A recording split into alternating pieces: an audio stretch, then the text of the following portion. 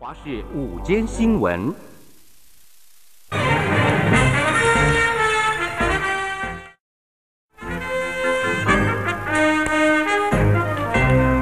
观众朋友们，午安，欢迎收看华视午间新闻，我是何佩珍。新闻一开。再来看到有一名冷气的维修工人，非常年轻，二十四岁，还是家中的独生子。他去维修中央空调的送风机的时候，却不幸被电死。那么医生就说，当时他的手上可能有水，加上环境很潮湿，拿着螺丝起子修理，因此触电身亡，也让家属没有办法接受。触电陷入昏迷的水电工人送进急诊时已经没有呼吸心跳，急救一个小时后还是救不回来。身为家中独子，妈妈赶到医院崩溃痛哭。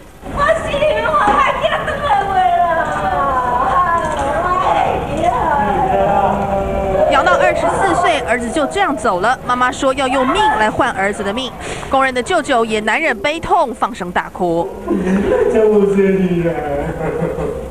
怎么会这么不小心？这名工人送医前正在这家会计师事务所维修冷气的送风机，当时电流是一百一十伏特，可能外面下雨，环境潮湿，加上工人手上有水，拿着螺丝起子成了导电工具，电流从他的右手食指进入，经过心脏后再从左胸壁出来，心脏无法承受瞬间变大的电流，才会死亡。可惜倒下的当时没有人帮他做 CPR，也丧失了他可能活命的机会。